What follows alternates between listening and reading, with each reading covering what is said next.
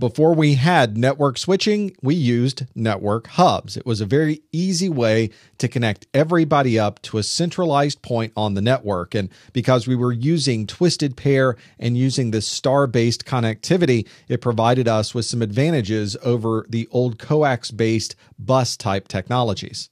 One of the disadvantages of hubs is as more people communicated on the network, the performance of the network degraded for everybody. You didn't have the separation of communications like you do in modern switch technologies. You'll commonly see hubs running at speeds of 10 megabits per second and 100 megabits per second. You don't see gigabit based hubs, although it's part of the gigabit specification. There was never a manufacturer that created gigabit hub technology. And what you'll find is hubs are pretty difficult to find these days. It's a technology that's not created any longer. And generally, the only people who need to use hubs are people that need to tap into 10 megabit or 100 megabit network connections. So you generally will see these used by network managers or by people who want to use protocol analyzers. These days, if you're connecting to a network, you're probably plugged into a switch. A switch is effectively a multi port bridge, and all of the decisions about moving data inside of that switch are made in hardware. So it's very, very fast in how it operates. If you're familiar with the OSI model, switches work at OSI layer 2 they are very intelligent about where they're sending your data. If you recall with a hub, when traffic went in one port, it was sent to every other port on the hub. Well, it doesn't work that way in a switch. When traffic is sent into a switch, the switch examines the traffic and only sends the traffic out to the destination port associated with that traffic. So you can have many different conversations going on inside of a switch, but because of that switching architecture, the increase in connectivity between devices isn't going to affect the network overall. You now have very specific paths set up between one station and another. Another advantage of switches is that you can have a central switch with hundreds of ports on it. Because you are intelligently determining where that traffic is going, you don't suffer the slowdown problems that you had when you were using hubs. And these switches support very high bandwidths, not only in the method that it's using to communicate, but the individual interfaces on the switch as well. You can connect in users at 10, 100, or gigabit connectivity, and maybe even have 10 gig links that might connect one switch to another.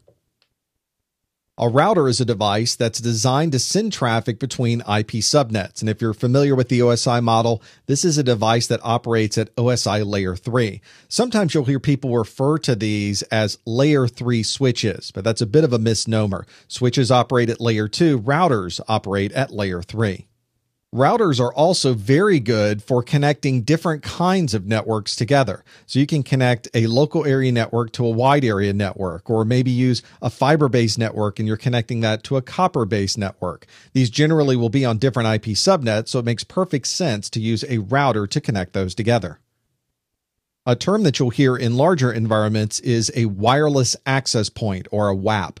This is different than the wireless router than you might have in a SOHO or a home office. It looks very familiar, but in reality, it's not doing routing. It is simply bridging a network that is wired onto a network that is not wired all of this activity is occurring at OSI layer 2. So we're not changing the subnet, we're not routing anything. We're simply extending the wired Ethernet network onto a wireless connection. When describing switches, we've used this term bridging a lot in this presentation. A bridge is a device that connects different networks together at layer two. It sometimes is used to connect different topologies together. And this is really an old way of communicating between those devices. These days, we have taken that idea and incorporated it within switches. And just like with switches, we're able to communicate between these networks using the MAC addresses. So if we're following along in our OSI model, this is an OSI layer 2 device. These days, if you think about bridges, we're certainly bridging inside of our very large switches, but you can also think of this as the method that's used in a wireless access point to bridge between a wired Ethernet network and the wireless network. Another network device you'll commonly see is a modem that stands for modulator demodulator. And it's a way to take your digital signals and send them via audio across a type of connection. Sometimes that's a phone line, sometimes that is a leased line from a network provider, but you'll need a modem on both sides to make that work. It's common to see this being used on really standard phone lines. If you have a remote site and there's no high speed connectivity to that site and you simply need to transfer small amounts of data, you can use these modems to accomplish this. Since we have so many choices for high speed internet these days, it's not really common to see individuals using modems. But if you're just needing a utility function, you need to transfer a file at the end of the day, you have an automated method to make that happen, or you just need to transfer a small amount of data, you can simply use a modem to make that happen. Another popular network device is network attached storage. Who doesn't want to have a lot of storage available right there on the network to be able to use? And of course, not just you can access it because it's on the network, it's available to be accessed by anybody who might be on your connection. This is usually connected via a high speed connection because you've got a lot of data going in and out of this device. Network attached storage isn't usually using a slow connection like a USB connection. These network attached storage devices are also designed to grow with your organization. So if you're storing a lot of data and you're realizing that that network attached connection is filling up, you can replace drives inside of this device or you can connect multiple of those network attached storage devices together. And one unique capability to this network attached storage is it's almost always going to be set up in a redundant and highly available mode. That way, if you lose one of the drives inside of this connection, it will continue to operate without a problem. And when you have maintenance, you can pull out the bad drive, replace it with a brand new drive while everything continues to run, and it will rebuild itself to get back to 100% operation. If you're connecting to the internet from anywhere, you probably got a firewall between you and the rest of the world. These firewalls commonly connect you and filter information based on port numbers. So in the OSI model, we're really talking about OSI layer four. Some of the newer types of firewalls will even look at the application that you're using and filter traffic based on that, something that's operating at OSI layer seven. It's very common to see firewalls being used between one site and another to be able to encrypt the data between those two connections. That capability is usually something that's built into many firewalls. These can also often be used to proxy traffic. So you can make your request to the firewall. The firewall makes the request to Google, and the response from Google comes to the firewall, which then examines that and then provides you with that secure data.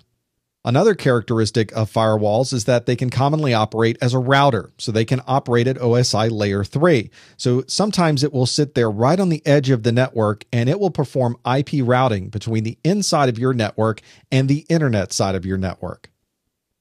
Historically, we haven't thought of our phones as network devices, but of course, these days with voice over IP, our phones are simply another connection on our existing networks. They act as a normal phone, but there's so many other capabilities built into this device. You've got browsers, there's multimedia integration. You can connect this to your computer and access it from your computer as well.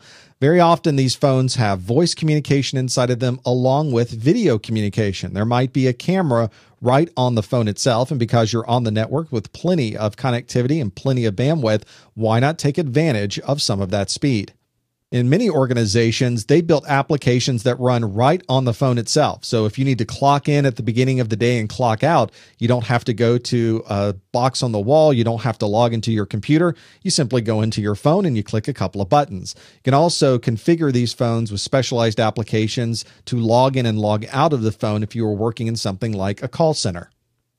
It's becoming very common these days to see a lot of this network capability built into a single device. And if you're a small company or a medium sized company, it might make sense to find a single device that can be a switch and a router and a firewall and an access point and have the ability for quality of service and all of these other functions built into one machine. That way you have one place to go to manage the device. You don't have a lot of different boxes on your network. You don't have to learn a lot of different environments. You go to one single place to take care all of your networking needs.